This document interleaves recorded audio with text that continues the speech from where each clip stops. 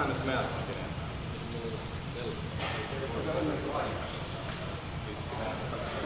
Saiko nyt koskettamella yhteen? Turvallisuustesti OK täällä. Check. Meillä nyt on ensimmäinen tämmöinen harjoituskoulutus tässä, eli nyt on opettajat kerääntyneet tänne opiskelemaan hybriditekniikkaa ja tätä, että miten lähdetään tätä viemään nyt oppilaille.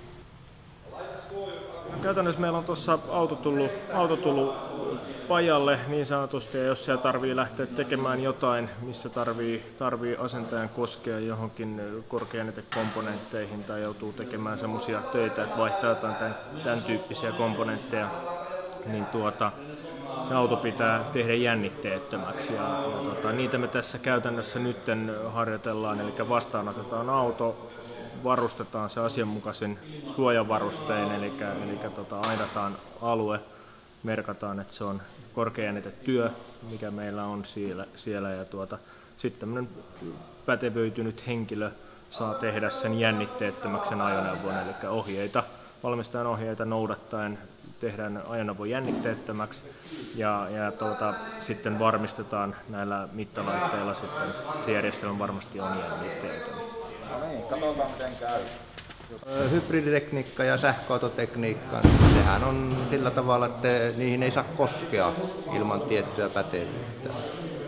Ja se on nyt tämä koulutustilanne, mikä nyt tulee, niin me pystymme tämän jälkeen niin kouluttamaan pätevyydet asentajille ja sekä nyt nuorisopuolen opiskelijoille niin tulee se pakolliseksi se 6002 autoalalle, niin me pystytään sitten kouluttamaan myös heitä siihen. Ne voivat pätevöityä huoltamaan ja korjaamaan hybridi- ja sähköautoja. Se pitää sinun panna omahan taskuun.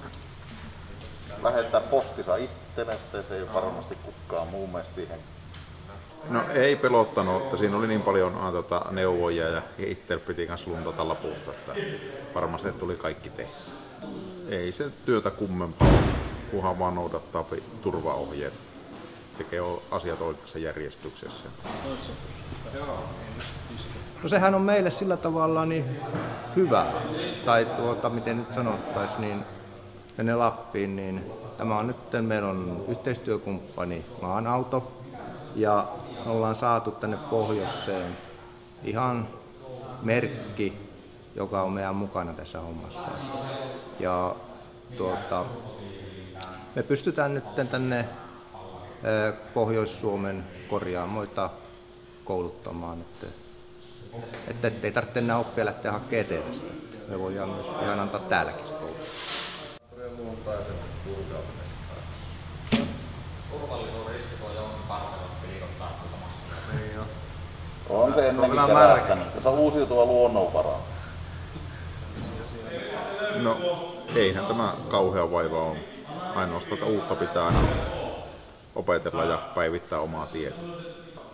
No ei tässä nyt oikeastaan ihan hirveätä, hirveätä säätöä ja työtä. Toki tietysti tiettyjä, tiettyjä työvaiheita tulee lisää ja, ja tota, tietysti henkilöstöltä vaadittavat asiat on, on aika paljon suurempia, koska siellä on nyt oikeasti, oikeasti myöskin niin kuin turvallisuus kyseessä, kyseessä jännitteellisten järjestelmien kanssa, kun tehdään, tehdään töitä, mutta, mutta kyllä ne väistämättömästi kaikki on tulossa ja, ja kukaan ei halua, että se onnettomuus koskaan sattuu tai että tulee mitään työtapaturmaa näiden kanssa, niin, niin tota, turvallisuusasioita nämä on ja, ja tota, tosi tarkasti nämä autoalalla otetaan huomioon, että hommi, hommia tehdään turvallisesti.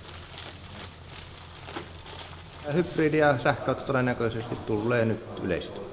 Eli tekniikka ja jos vielä menee verohelpotukset tulee, niin mehän tuota, niin ne lisääntyy ja siinä vaiheessa tarvitaan nuoria tulevia asentajia ja sitten jo firmoissa olevia, korjaamolla olevia asentajia, niin heidän koulutukseen nyt tähtää ja saada heidät päteväksi tekemään näitä töitä.